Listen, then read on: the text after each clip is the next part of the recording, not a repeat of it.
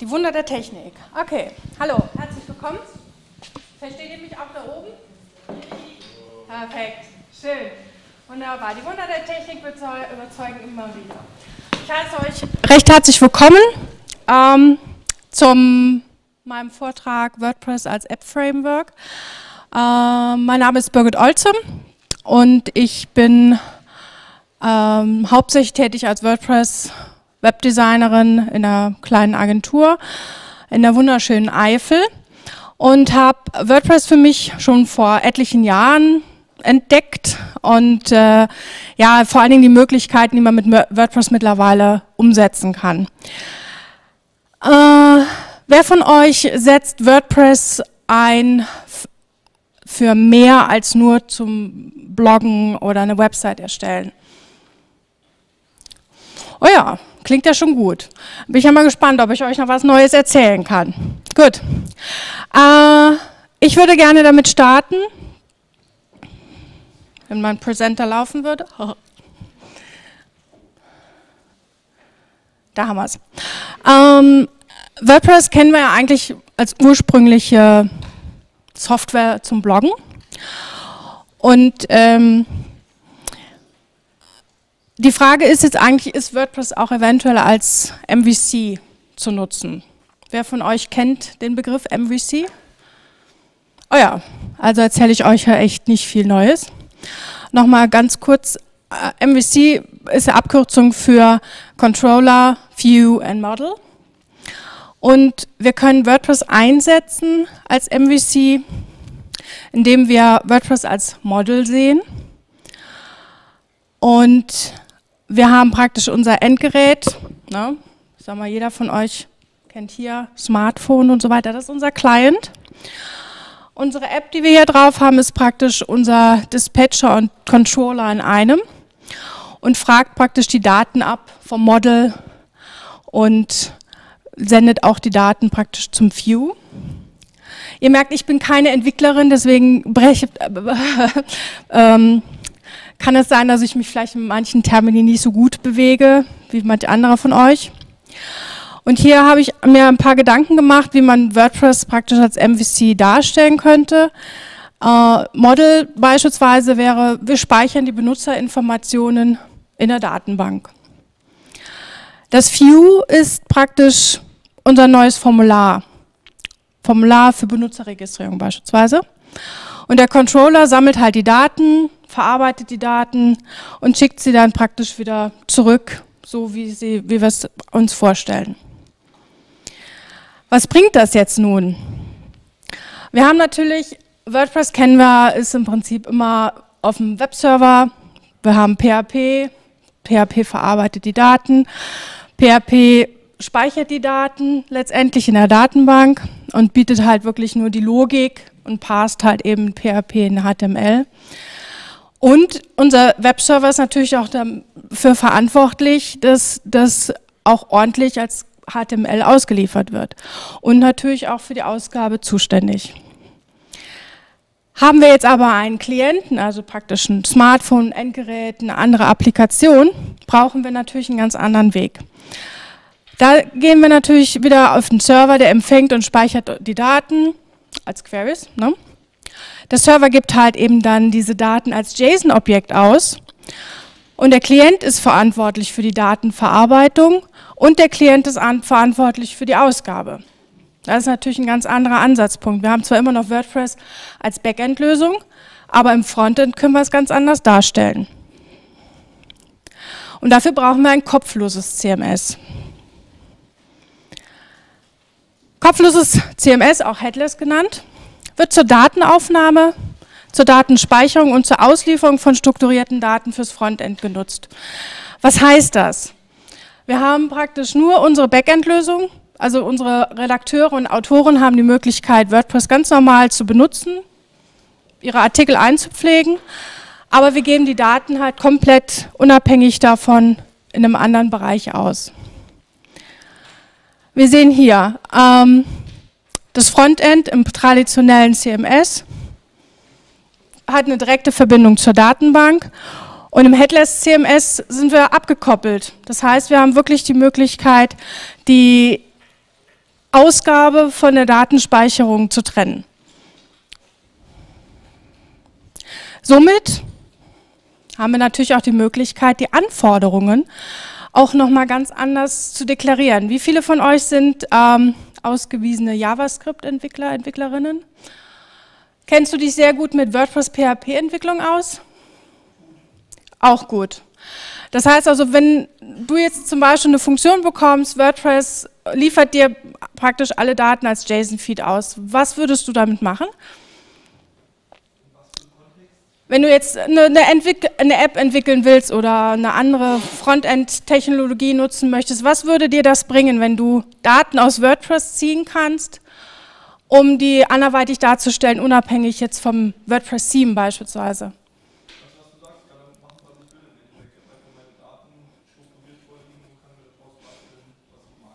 Hast du sowas schon bis jetzt umgesetzt? Äh, nicht bei der WordPress API, aber halt im anderen Backend. Mhm. Okay. Hier ist genau das, was ich eben meinte. Wir haben WordPress als Backend und haben die multiple Ausgabemöglichkeit. Wir können es einfach ganz normal auf dem Desktop ausgeben, wie wir es gewöhnt sind. Entweder mit einem WordPress-Theme, ganz klassisch. Wir können es natürlich aber auch die Daten strukturiert, verarbeitet auf dem Smartphone ausgeben, auf dem Tablet, Smartwatch oder halt eine komplett andere eigene Webanwendung. Ich habe mir so ein paar Gedanken gemacht, was könnten die Gründe sein, WordPress als ein sogenanntes Headless CMS einzusetzen. Und vor allen Dingen, was mich halt fasziniert an der WordPress API, ähm, wollte ich euch hiermit zeigen. Entschuldige, ich bin gerade ein bisschen, mir fehlen meine Notizen. ähm, Im Prinzip haben wir schon mal die Möglichkeit, kontextspezifische Lösungen zu entwickeln. Das heißt, wenn ich jetzt sage, ich möchte äh, eine App entwickeln und brauche aber praktisch meine Daten in der, der Backend-Lösung ähm, und kann dann meine Daten praktisch genau für diese Lösung zusammenstellen, ohne dass ich letztendlich ähm, ja, was komplett eigenes programmieren müsste. Dann habe ich die Möglichkeit, diese Inhalte, die einmal zentral gespeichert sind, auch immer wieder zu verwenden in anderen Formen. Ja? Und habe halt auch die Möglichkeit, diese Inhalte auch mobil darzustellen oder auszuliefern. Und dann auch der Punkt, wir haben die Anforderungen, was, was ich eben angesprochen habe, das heißt, ein, ein, ein WordPress-Entwickler ähm, muss nicht mehr zwingend JavaScript lernen oder so tief lernen, dass man damit auch Apps entwickeln kann. Und ein JavaScript-Entwickler, Entwicklerin muss jetzt nicht mehr zwingend die Backend-Möglichkeiten von WordPress vollumfänglich nutzen, verstehen, PHP lernen und so weiter. Hier können Verantwortlichkeiten ähm, und Fähigkeiten kombiniert werden. Ja, das heißt also, wenn ich jetzt die Daten, die ich in WordPress habe und als sogenannte strukturierte Daten im JSON-Feed ausgebe, kann derjenige, der die fit in der App-Entwicklung ist, die Daten einfach nehmen und der WordPress-Backend-Spezialist äh, stellt die halt eben auf eine andere Art und Weise dann zur Verfügung. Und daher haben wir aber auch noch die Möglichkeit, für Autoren und Redakteure wirklich eine gewohnte Umgebung zu erhalten. Das heißt, das Backend unser klassisches Dashboard kann trotzdem bestehen bleiben, aber die Daten, die in der Datenbank gespeichert sind, werden einfach gut und strukturiert ausgegeben. Zum Beispiel auch als Single-Page-Application. Mit der Single-Page-Application haben wir die Möglichkeit, auch die Daten auszugeben. Jeder kennt das Ajax, ohne dass wir die Seite nochmal neu laden. So, wie kann jetzt WordPress zu einem Headless CMS werden? Natürlich mit der WordPress REST API. Wir haben in der WordPress REST API auch sogenannte Datenbankoperationen, CRUD genannt. Ich denke mal, viele von euch kennen das. Zur Verfügung stehen einmal die Möglichkeit, also Posts, Post Meta, Post Revision, Pages, Media, Comments, Taxonomies, Terms and Uses auch bearbeiten können. Das heißt, wir können all diese Elemente bearbeiten, wir können erstellen, wir können sie lesen, wir können sie aktualisieren und auch löschen. Das heißt, wenn ich jetzt eine eine App habe und habe mich verknüpft in meinem WordPress-System, habe ich die Möglichkeit, direkt meine Inhalte zu verändern. Wir sammeln die Daten über den JSON-Feed und das ist, dass wir ähm, wp-json slash wp slash v2, so im Moment der aktuelle Domain-Aufruf. Die WPE API ist im Moment auch in WordPress im Core und dadurch haben wir schon einige Möglichkeiten ähm, zur Verfügung, die wir dann halt erweitern können.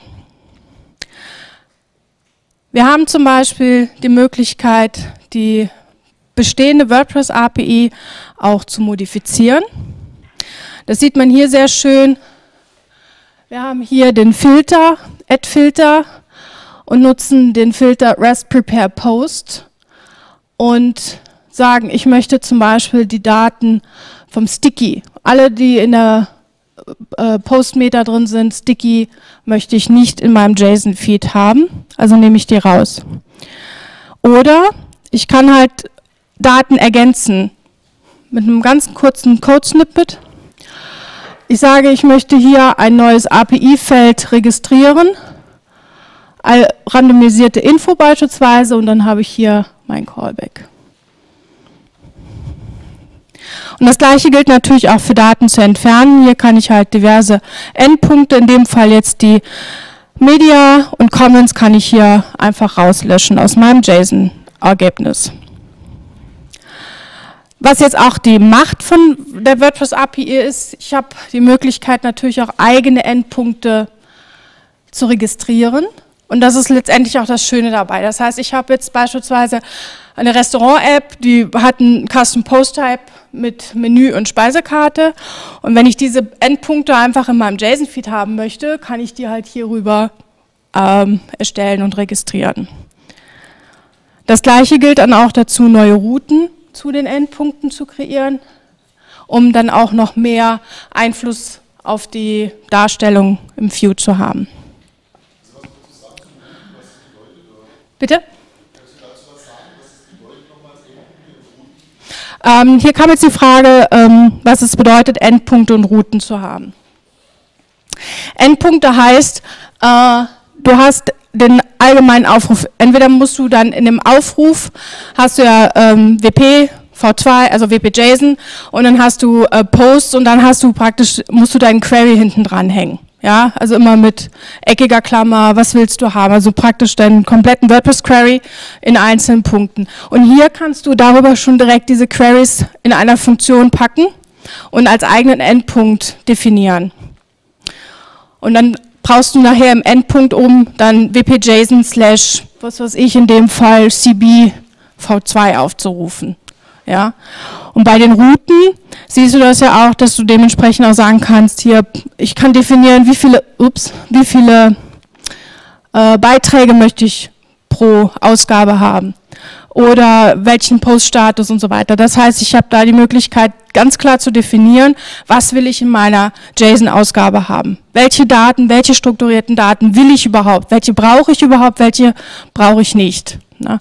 Und das ist halt eben, was mir daran so gut gefällt, dass du wirklich ähm, ganz klar für dich sagen kannst, die Daten will ich in meiner Anwendung ausgeben, modifizieren und so weiter.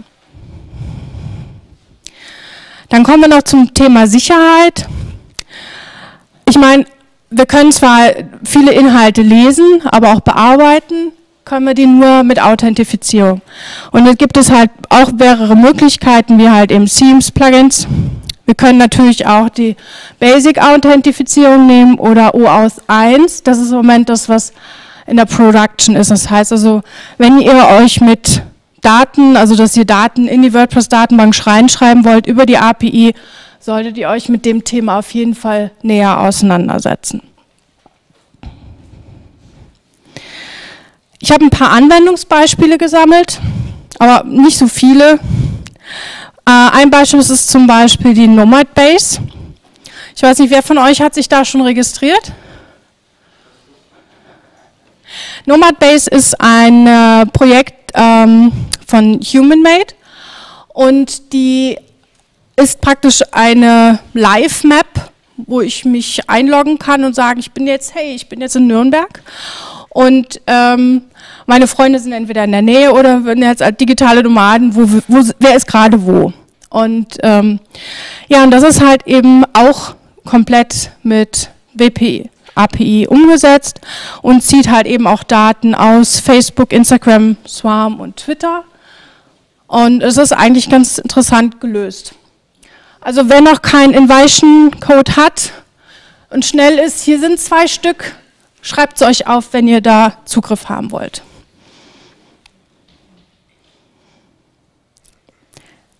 Was auch noch ein schönes Beispiel ist, ist das Plugin WP Live Search. Äh, das greift auch praktisch auf die äh, WP API zu. Das heißt, wir können damit auch direkt mit Ajax Queries direkt unsere Inhalte auch im Frontend darstellen. Ein recht beliebtes Plugin ist das AppPresser bzw. Reactor Core. AppPresser ist ein Online-Service, ein, ein, ein SaaS. Ähm, die bieten an, dass man eigene Apps praktisch über die eigene WordPress-Installation füttern kann. Ähm, für mein Empfinden zu wenig Leistungsumfang für das, was es kostet, aber die Core-Version ist kostenfrei und man kann sie auf jeden Fall für sich schon mal als Beispiel, als Erweiterung nutzen. Dann gibt es noch das Plugin ACF zu WP-API. Ich sprach ja davon, dass man die WP-API mit eigenen Endpunkten und Endrouten äh, äh, Routen bestücken kann. Und ich weiß nicht, wer von euch setzt das Plugin Advanced Custom Fields ein? Der wird auch sicherlich schon gemerkt haben, dass es nicht so einfach ist, da eben die REST-API mit reinzuholen, oder? Hast, du nutzt das Plugin auch, ne? Vielleicht magst du berichten, welche Erfahrungen du damit gemacht hast?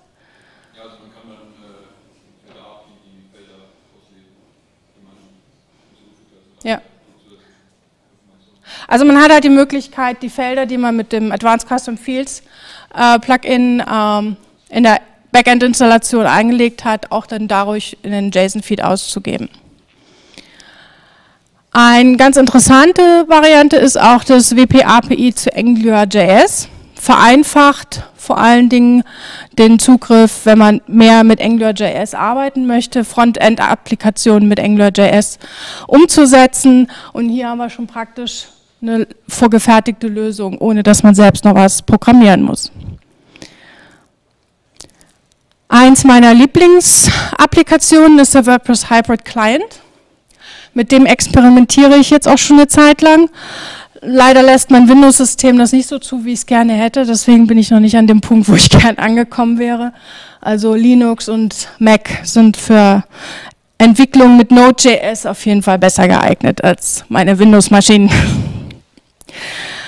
Äh, hier sind ganz interessante Ressourcen für Apps mit der WP-API, äh, wo es halt gerade so Thema Ionic Framework geht, womit man wirklich Apps auch cross-Plattform entwickeln kann. Und hier hätte ich noch ein kleines Live-Beispiel, äh, wie ich mit dem Food and Drink Menu äh, die JSON API ein wenig aufgebohrt habe. Jetzt muss ich aber mal ganz kurz hier ran.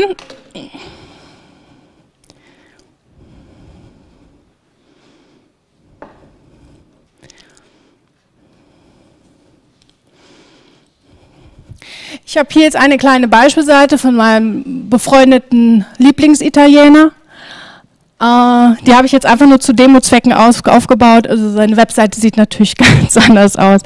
Aber hier habe ich jetzt beispielsweise ähm, das ähm, Plugin FDM Menu, also Food and Drink Menu eingesetzt. Und man sieht letztendlich, dass man hier äh, die ganzen Gerichte Pasta, vegetarisch und so weiter. Zwar im Frontend darstellen, ganz klassisch mit einem WordPress-Theme. Und jetzt möchte ich aber diese Daten in eine App verpacken. Ja, dass man praktisch auf dem mobilen Endgerät auch einen Zugriff auf die Speisekarte hat. Und dazu habe ich mir ein Plugin geschrieben, womit ich praktisch meine FDM-Menü-Elemente auch als eigene Routen und Endpunkte definiere. Die Links zu den Plugin und so weiter gebe ich euch gerne später durch. Und hier sieht man, wie der JSON-Feed aufgebaut ist. Ich habe hier oben praktisch den Namen Pizzeria Costa Verde App, Demo, meine URL und hier sind die Namespaces. Da finden wir übrigens die Endpunkte wieder. Ja. Und dann siehst du hier die Routen. Die Methode ist in dem Fall get. Und hier könnte ich dann praktisch die ganzen Elemente nochmal weiter strukturieren und aufbauen. Wenn ich jetzt weiter runter scroll, haben wir dann hier auch die ganzen Elemente. So. Und ich will jetzt aber in Speisekarte.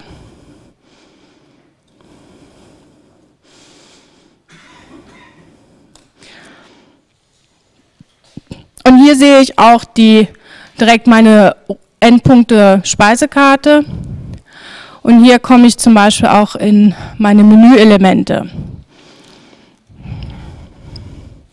Ja, hier habe ich meine Menükategorien, Categories und hier ist das Beispiel für meine benutzerdefinierten Endpunkte und Routen. Ich habe hier ganz klar entschieden, ich möchte nur die Kategorien ausgeben, äh, den Namen, die Beschreibung und auch die Term Order. Ich habe jetzt in dem Fall noch ein Plugin eingesetzt, äh, Custom Post Type Order und habe gesagt, ich möchte in einer bestimmten Reihenfolge die Taxonomy ausgeben, beziehungsweise die Categories. Und hier unten kommen dann schon direkt meine Items. Äh, Item ID, Category halt eben als ähm, ID.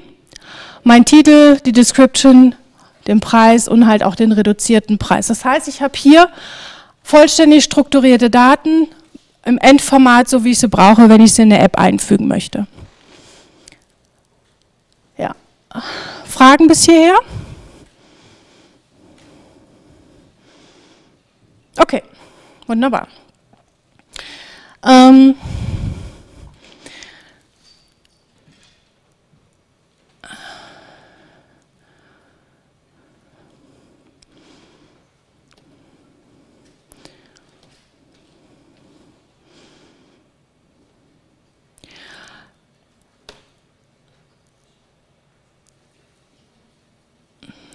Na. Vielen Dank. Nein. Ähm, wie gesagt, es ist ähm, für mich als, als, als Quereinsteigerin ist es immer sehr interessant, äh, was man alles mit dieser WordPress REST API machen kann. Und äh, ich finde es halt sehr schade, dass noch nicht alles im Core drin ist. Auf der anderen Seite bietet das auch wieder die Möglichkeit, da eigene Ideen zu entwickeln und vor allen Dingen eigene Endpunkte und Routen zu generieren, welche Einsatzmöglichkeiten man auch damit überhaupt umsetzen kann. Also wie gesagt, ich, ich persönlich bin halt Quereinsteiger, ich baue täglich Webseiten für Kunden äh, im normalen Bereich, aber das ist halt mein Hobby, ich interessiere mich unwahrscheinlich dafür, was man damit machen kann. Und ich freue mich jetzt über Austausch mit euch. Also welche Ideen habt ihr oder welche Erfahrungen habt ihr bis jetzt mit der WordPress API gemacht?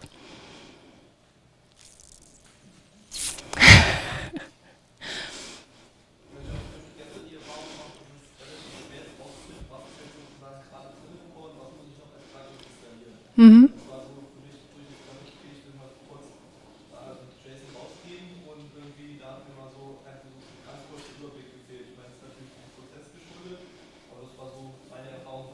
Mhm. Dass ich gemerkt habe, ah, irgendwie muss man doch erstmal tiefer einsteigen, ähm, wenn man das nutzen will. Ja, also, ja.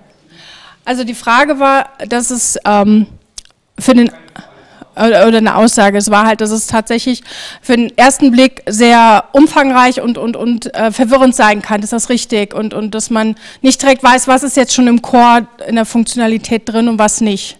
Habe ich das richtig verstanden? Ja. Ja.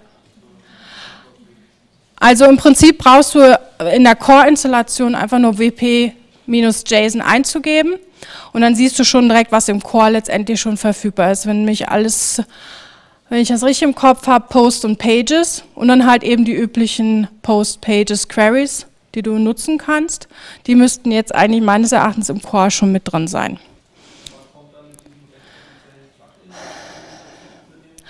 Da installierst du letztendlich auch nochmal, dass du ähm, die Taxonomies, ähm, die, die, die, Terms, alles auch nochmal als eigene Endpunkte dann bekommst. Ne? Also praktisch die Funktionalität.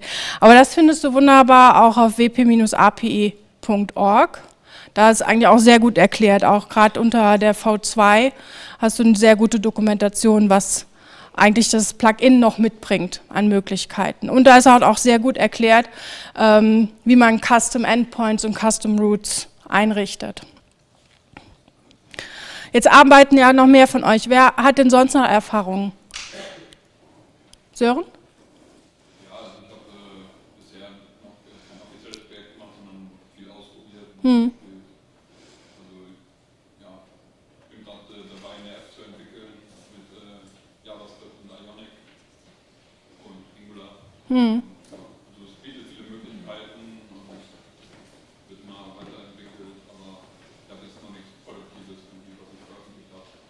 Okay. Also Sören hat jetzt, wie gesagt, bis jetzt nur ein wenig experimentiert, also mit, mit AngularJS und Ionic, sagst du, mit dem Framework. Ne? Also es bietet sehr viel, ja?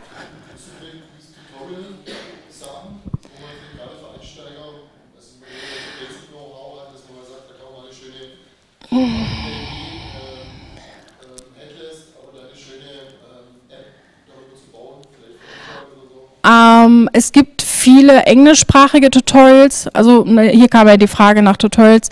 Ähm, der Scott Bollinger, ich glaube, der ist auch der Betreiber von AppPresser, äh, der schreibt viele Tutorials. Allerdings müsst ihr bitte aufpassen, wenn ihr recherchiert. Viele Tutorials basieren noch auf der Version 1 der WordPress REST API. Äh, in der Version 2 gibt es halt eben auch neue Namespaces, die man beachten muss. Aber ich denke mal, Tutorials wird es in Zukunft noch mehr geben, hoffe ich zumindest.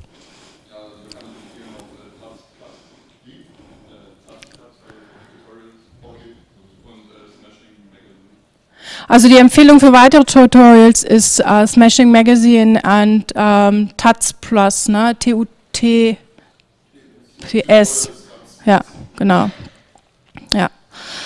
Um, wie gesagt, es ist ja nicht nur so, dass man mobile Apps damit entwickeln kann oder die Daten nutzen kann, sondern halt eben auch für Frontend-Anwendungen.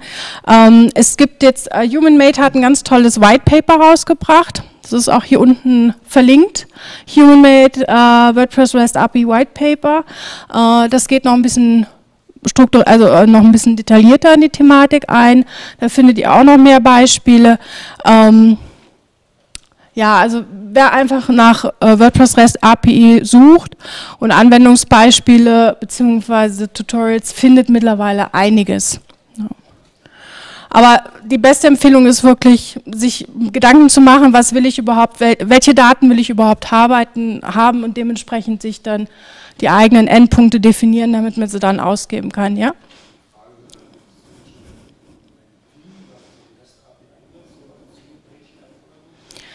Äh, die Frage, äh, ob es ein Theme gibt, das es schon äh, die REST API als Single-Page äh, Application ausgibt. Äh, ich weiß, es gibt ein Theme, das nennt sich PCAR, wie der Pilot, äh, der Captain der Enterprise. Entschuldigung, ich bin kein Trekkie. ähm, das setzt tatsächlich REST API ein. Ähm, dann ist dieses Feeling RESTful äh, von, äh, ist auch glaube ich ein Human-Made-Projekt gewesen für diesen RESTful Day. Äh, das ist auch eine Single-Page-Application und das ist auch Open Source. Da gibt es auch ähm, von Feeling Restful von diesem Projekt. Das ist auch, also wenn man bei, bei Human Made im GitHub Repo guckt, findet man auch einiges. Die arbeiten auch sehr viel. Also Scott Bollinger ist eigentlich eine ganz gute Referenz. Human Made arbeitet viel damit. Also das ist, was ich jetzt gefunden habe, auch auf meinen Recherchen. Ja, weil ich war ja auch immer auf Tutorial-Suche unterwegs. Sonst noch Fragen, Ideen, Anregungen?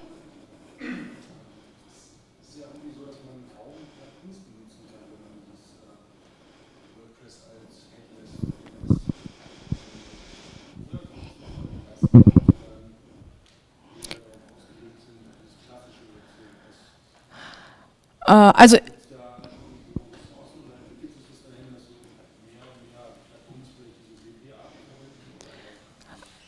Ähm, es ist insofern so, also die Frage ist, äh, ob man auch weiter Plugins einsetzen kann, anstatt jetzt nur dem klassischen WordPress-Installation. Meine Erfahrung ist, du kannst im Prinzip ganz normal deine Funktionalität aufbauen mit den Plugins, die du brauchst. Wenn dein Plugin noch nicht die REST-API unterstützt, könnte man das über ein eigenes Plugin noch erweitern indem man einfach diesem Plugin diese Funktionalität gibt. Äh, man kann bei einer, wenn man eigene Custom Post Types anlegt, auch direkt sagen, ich möchte dieses, diesen Custom Post Type der REST API zur Verfügung stellen, also Support, unter, äh, in dem Argument Support. Ähm, es gibt viele Plugins, die schon eine Schnittstelle für API mitliefern. Das siehst du aber auch in den Beschreibungen. Ähm, zum Beispiel WooCommerce bietet auch eigentlich eine eigene Schnittstelle, aber mittlerweile auch, meines Erachtens auch mittlerweile auch kompatibel mit der WP-REST API. Ähm, Im Prinzip äh, baust du dir für die Plugins, von denen du jetzt keine Daten sonst geliefert bekommst, einfach über ein eigenes Plugin die Funktionalität, welche Daten willst du aus der Datenbank haben, weil es ist ja alles im WordPress gespeichert. Ne? Du musst es einfach nur als ein eigenes Plugin, also ich nenne es immer WP-JSON Add-ons, dir dann selbst einfach noch zusammenschreiben, damit du deine strukturierten Daten dann auch bekommst. Ne? Sonst noch Fragen? Anregungen? Ideen, die man diskutieren könnte? Okay, dann sage ich nochmal recht herzlichen Dank. Ähm, ihr seid dann jetzt was früher in die Kaffeepause entlassen. Ähm, ja, ansonsten, ich stehe gern sonst noch für Fragen draußen zur Verfügung. Dankeschön.